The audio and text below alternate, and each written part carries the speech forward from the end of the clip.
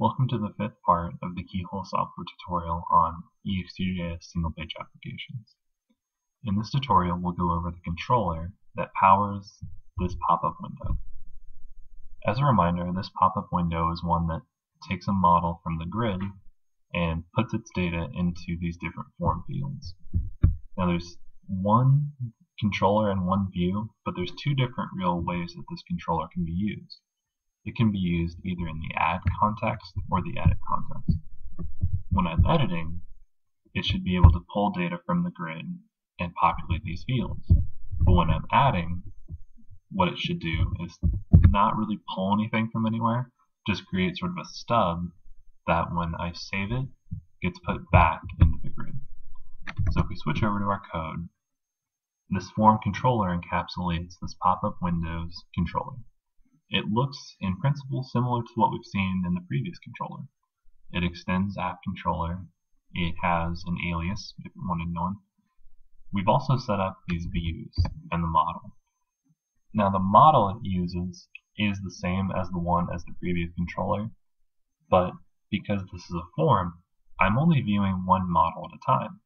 So I don't need to use the store as an intermediary to my model because there's only one that I can be looking at at any given time. The view it uses will also go into the next tutorial and it looks sort of similar to what the previous view we looked at does. It has the same concept of refs so that I can pull this very specific button and give it this well-defined name so that I can attach events to it, um, do all sorts of things. It also has these private member variables that we set up right here. In JavaScript, there's really no notion of public, private, or protected. It's going to be something that you just have to document. Um, traditionally, what an EXTJS controller looks like is all of my base config options will be at the top. Next will be a list of the member variables that the controller uses, and then finally all of my methods. So what we can see here is that it doesn't have an init method.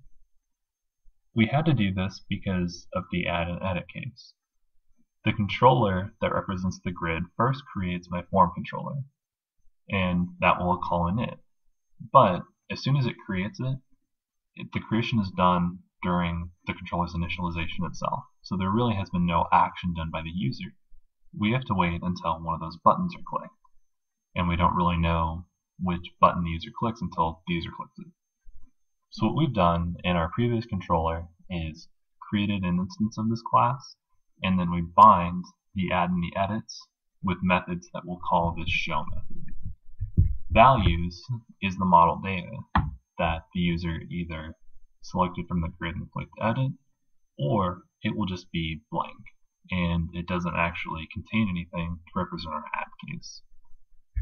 This is what you can see down here. If I do have values, then it pulls out my form using my well-defined getter and then sets the data. If I don't have it, then my form is just created blank, doesn't have anything. The creation of the form is done in this first part, to where I pull out my constructor, I create an instance of it, and then I show it. Then, this sort of takes the place of my init, I add my events down here. So I know that my view is going to close.